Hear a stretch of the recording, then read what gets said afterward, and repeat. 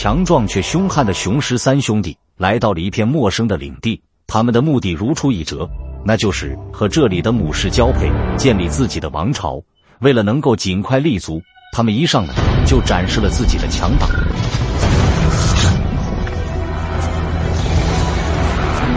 一头成年水牛就这样被轻松放了，几乎没有太多挣扎。而对于那些较小的猎物，雄狮三兄弟根本看不上，因为另一种气味正吸引着他们，也是此行的主要目的，那便是母狮的味道。而这个母狮家族也已经提前察觉到了危机，狮群的幼崽一旦被发现，后果不堪设想。三姐妹并排走在最前面，而领头的便是一只叫泽贝的母狮。他很清楚，一旦被三兄弟追上，他们会行使自己的交配权利。呜，母狮在养育幼崽的时候是不会进入发情期的。面对强悍的追兵，他们能做的只有逃离。然而，在拖家带口的情况下，前进的速度太过缓慢，总有力不能及的威胁。泽贝突然愣在原地，他的噩梦出现了。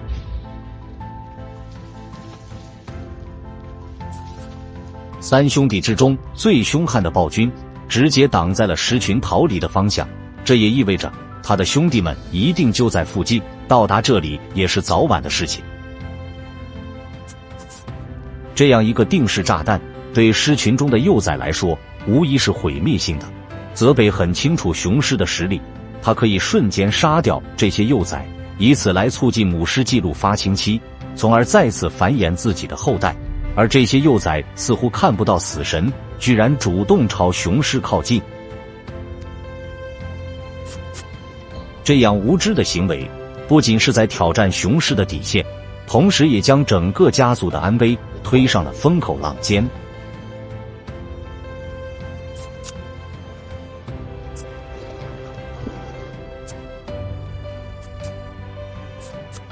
沉默许久的泽贝已经受够了这样的威胁。虽然他的体型和力量无法和雄狮抗衡，但作为一位母亲，此刻的泽贝根本无暇顾及。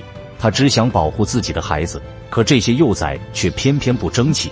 若不是母亲的保护，他们恐怕早已被 撕成了碎片。而雄狮之所以一再忍让，除了狩猎水牛消耗了一些体力之外，他从未忘记自己的目的，那便是征服这里的母狮。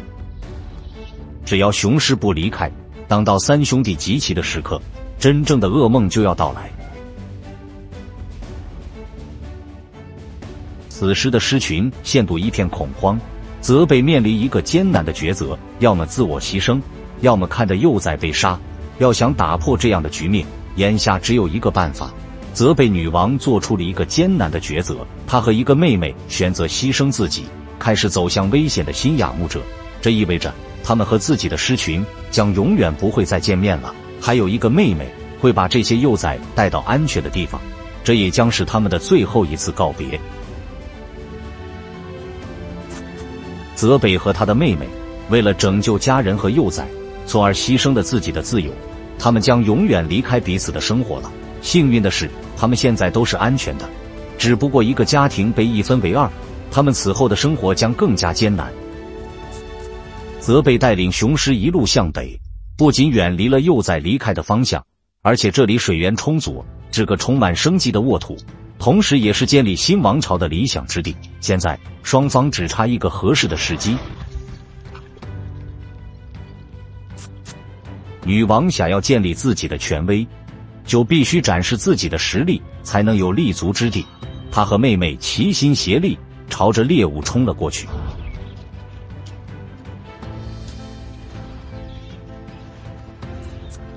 面对两头母狮的围捕，油猪是逃不掉的。新领土有着梦寐以求的一切，但有些东西是不需要的。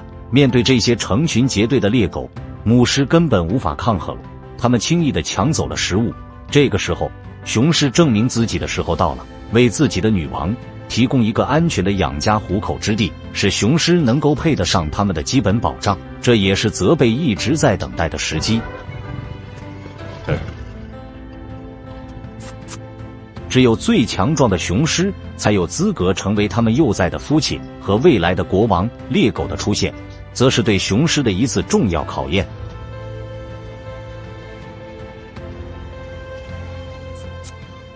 这头雄狮首当其冲，将猎狗按在地上一顿暴打，侵略者被赶走了。泽贝也从他们身上看到了团结和力量，是时候做出决定，并建立新的王朝了。泽贝已经做好了再次繁衍的准备，他选择了那头暴打猎狗的雄狮。不久后，泽贝的肚子已经微微隆起，和他在同一期间怀孕的还有他的妹妹。即将到来的新成员也意味着新的挑战开始了。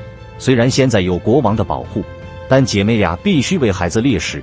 可如今的他们已经无法像从前一样敏捷，长距离追捕猎物。是不可能成功的，守株待兔是最好的办法。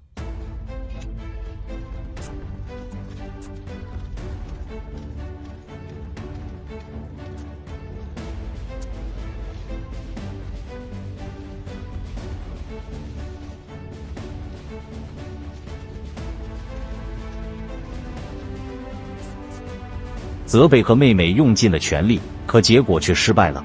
但这也预示着。他们分娩的时间快到了，然而命运总是福祸相依。为了让幼崽有更好的生存环境，姐妹俩必须告别彼此，各自寻找生产的地方。她们虽血脉相连，但每一头母狮都必须独自面对分娩。责备女王很久没有落单了，她需要尽快远离这个残酷的世界，寻找安全的庇护所。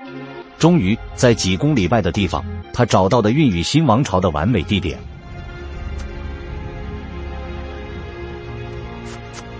不久后，大批兽群迁徙至此。与此同时，泽贝也产下了幼崽，一个新狮群已然诞生，同时也是新王朝的开始。他们肩负的担子更重了，这也得益于雄狮的奉献。然而，这样的状态能维持多久呢？幼崽们已经六周大了，他们逐渐开始叛逆。好在泽北有着经验和耐心，但他们的新手父亲可没有那么多的耐心，他只想躲起来图个清静。而幼崽们日益增长的胃口，让泽贝不得不出门狩猎，才能分泌更多的奶水。不过在离开前，他留下了父亲照看珍贵的幼崽。独自外出的泽贝很快便发现了猎物，是一群羚羊。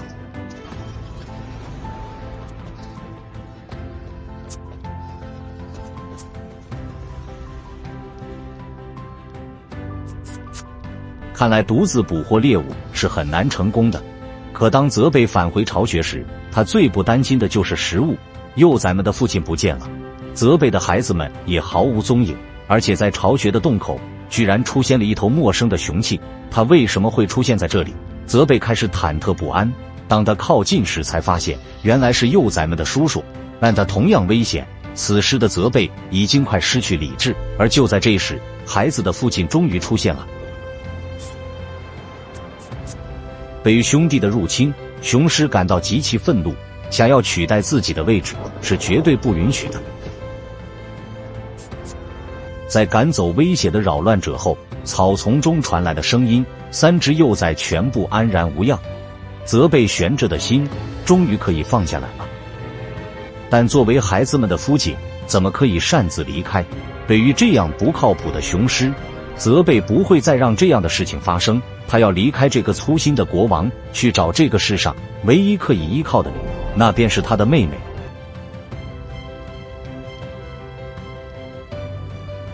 自泽贝离开原生狮群以来，好不容易历尽了艰难险阻，建立了属于自己的王朝，可却因一个不靠谱的父亲，他只能独自带着幼崽艰难前行。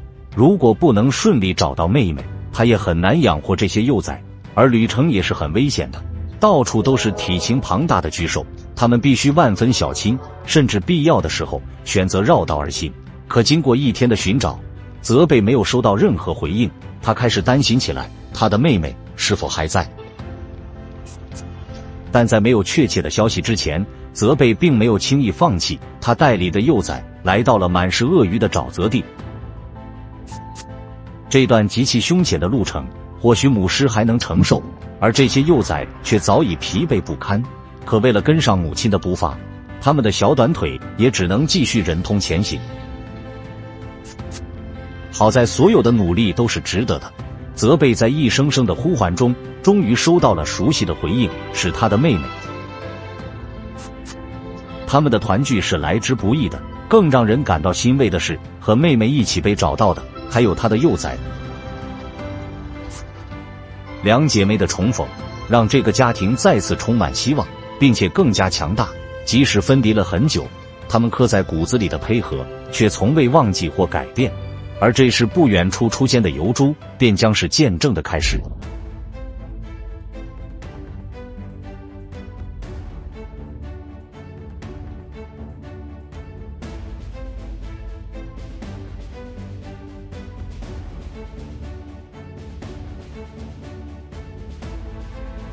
小小油猪轻松拿捏，结果也再次证明两姐妹的团聚是正确的。然而，意外却总是接踵而至。突然，一头陌生的雄狮闯入了这里，泽贝的心因恐惧而砰砰直跳。这头强壮的雄狮可能会杀掉他的幼崽，或者再次逼他放弃家人。才刚刚团聚的家庭，却再次遭遇可怕的危机。但这次泽贝不会再忍让，雄狮敢伤害他的孩子，除非从他的尸体上踏过去。但当雄狮走近后，泽贝一眼就认出了他是幼崽们的父亲。那头不太靠谱的雄狮，他让妹妹留下来照顾孩子。雄狮看起来更冷静了，更成熟了，也更有王者风范了。狮群里也确实需要一位雄性保护，泽贝决定让他留下。但是他可没时间整日谈情说爱，他要建立新的王国，让自己的血脉得以延续，这也是姐妹俩共同的目标和责任。